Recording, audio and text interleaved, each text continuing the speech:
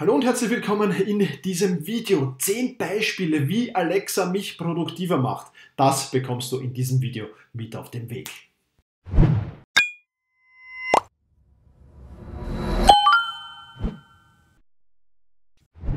Ja, bevor wir damit anfangen, müssen wir jetzt ein Thema klären, Thema Datenschutz. Alexa hört doch immer mit, alles was ich sage, ist doch ein Mikrofon. Ja klar, sie muss immer mithören, weil sie sonst nicht auf Alexa reagieren könnte, wenn ich sie anspreche.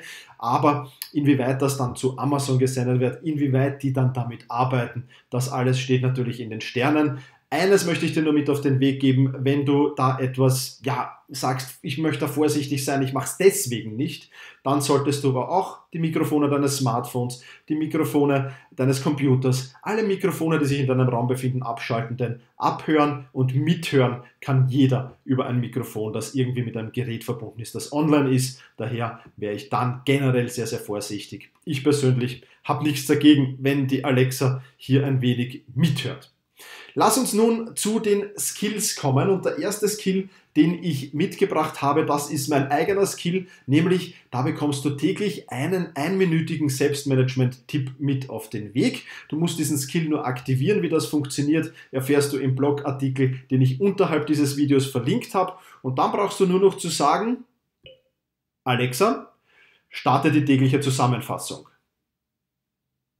Hier ist deine tägliche Zusammenfassung von Thomas Mangold mit Selbstmanagement-Tipps. Hallo und herzlich willkommen zum Selbstmanagement. Alexa, stopp.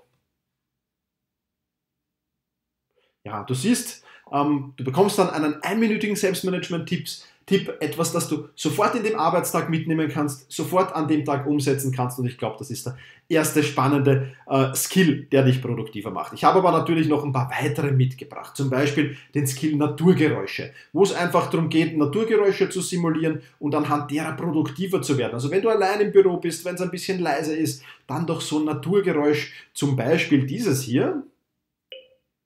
Alexa, spiele Ozeanwellen von Naturgeräusche.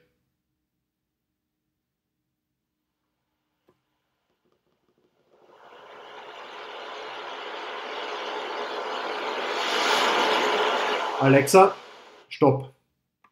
Und du siehst, dann kommen schon die Naturgeräusche hierher und du kannst das mit Regen machen, du kannst das mit Waldgeräuschen machen, du kannst das mit Lagerfeuer machen, du kannst also sehr, sehr viele Dinge da in dein Wohnzimmer, in dein, in dein Büro holen, wo auch immer du arbeitest und kannst dir das anhören. Also dieses Skill Naturgeräusche findest du natürlich auch unterhalb des Video, des Video äh, den Link.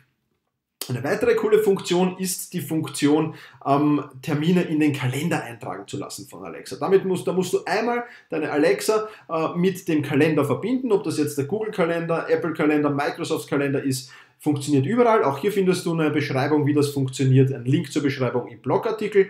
Und dann, ich habe jetzt hier meinen äh, Kalender geöffnet und dann brauchst du nur noch sagen, Alexa, Setze den Termin Mittagessen mit Markus für heute 12 Uhr in meinem Kalender. Meinst du 12 Uhr mittags oder Mitternacht? Mittags. Ich erstelle den Termin Mittagessen mit Markus heute um 12 Uhr mittags, okay? Okay. Okay, das habe ich hinzugefügt.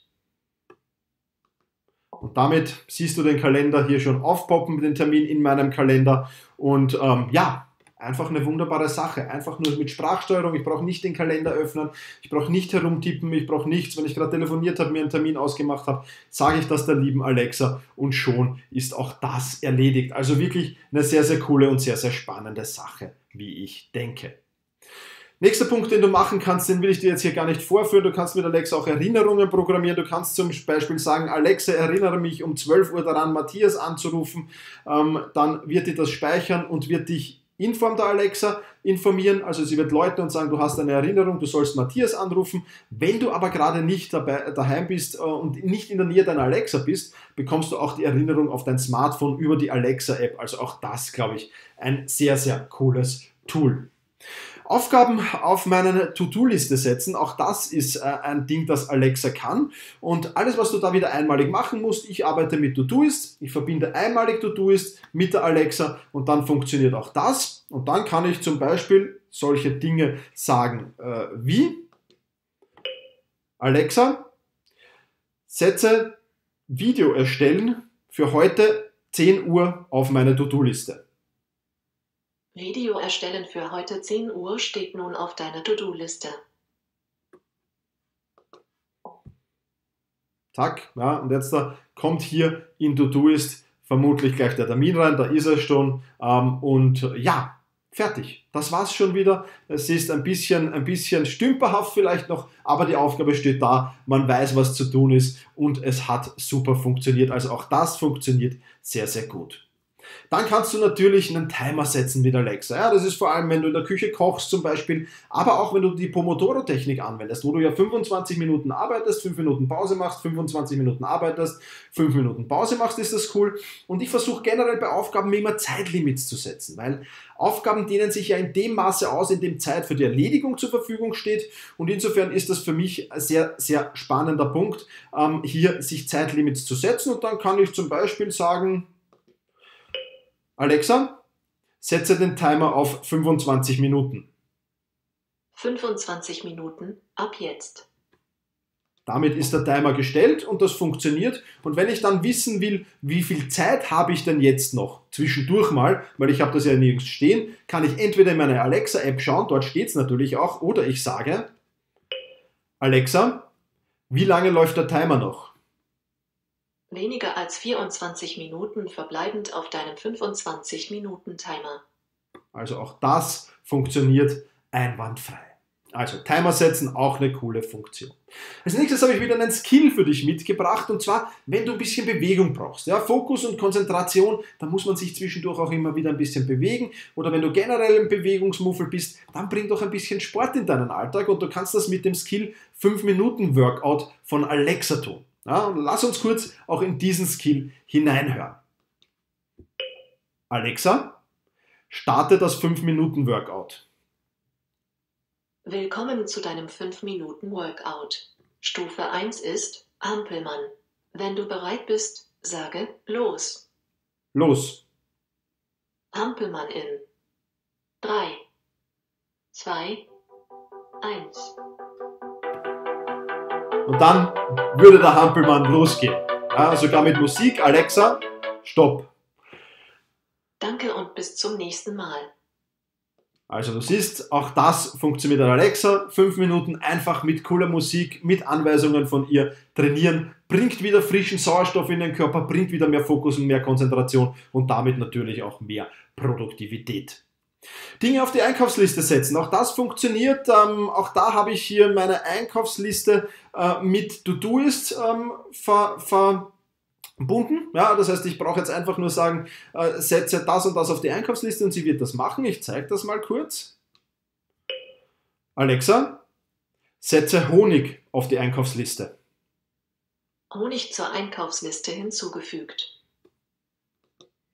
So, damit sollte hier Honig gleich auf meiner Einkaufsliste aufpoppen und damit habe ich das, wenn ich merke, irgendwas wird leer, irgendwas wird weniger, dann kommt das natürlich sofort auf meine To-Do-Liste, wird da drauf geschrieben, erscheint da und ist natürlich eine wunderbare Sache, weil es wirklich, wirklich schnell geht und weil es, ja, du vergisst einfach nichts, du hast alles dabei und wenn dir irgendwas gerade ausgeht, dann ist das natürlich eine wunderbare Sache. Hier ist Honig schon dazugekommen. Also auch auf die Einkaufsliste setzen ist eine coole Sache.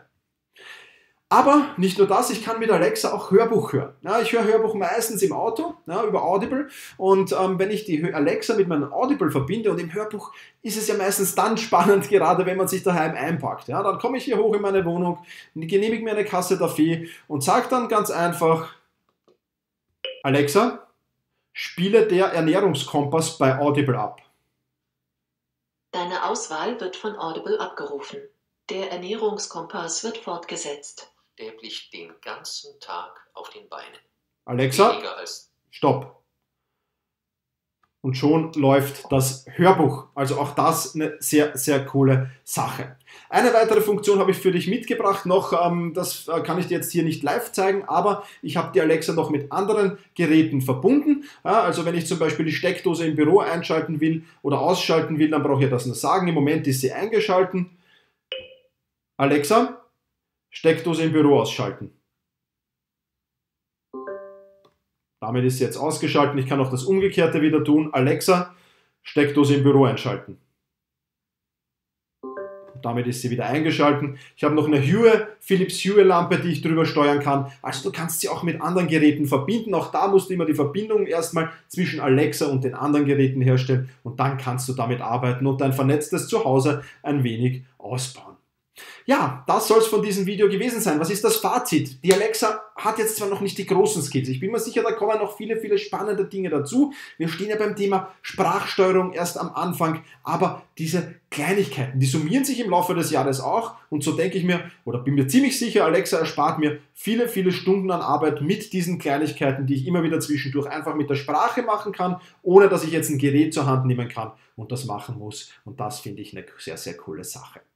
In diesem Sinne, vielen Dank fürs Zusehen, mach's gut und genieße deinen Tag. Ich freue mich natürlich noch, wenn du eines meiner anderen Videos siehst, beziehungsweise wenn du diesem Kanal einen Daumen nach oben gibst. In diesem Sinne, mach's gut, tschüss, bis zum nächsten Mal.